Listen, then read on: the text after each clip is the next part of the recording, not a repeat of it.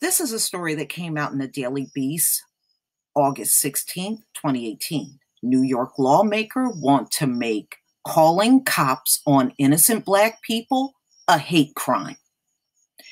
A New York state senator has proposed a law that would make it a hate crime to call the police on innocent black people. Jesse Hamilton, who represents Brownsville, Crown Heights, and Flatbush, neighborhoods of Brooklyn proposed the law after a self identified supporter of Trump called the police on him while he was publicly campaigning. The bill would bolster existing laws that already outlaw false reports by also making these reports hate crimes. This pattern of calling the police on Black people going about their business and participating in the life of our country has to stop, Hamilton said. He added that the law would not punish people who mistakenly call 911 on someone who seems legitimately threatening.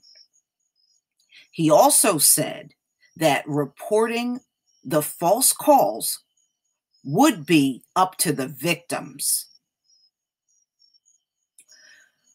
So, ladies and gentlemen, actually, I think this is a good idea because something's got to be done to discourage these people from doing this. Either find them um, or put laws in place where it's illegal to call the police on all of these uh, non-violent, non-crime things and just wasting taxpayer money because that's what this is. It's a waste of time and money. And there is nothing happening where the cops have to be called in the first place. You know what it is? They initiate problems in public and then they expect the police to come out and back them up, be their backup, like some backup bouncer or bodyguard. And that should not be the job of the police.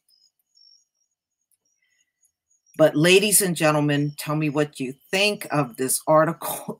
I will leave the link to this article in the description box, but please leave your comment and subscribe.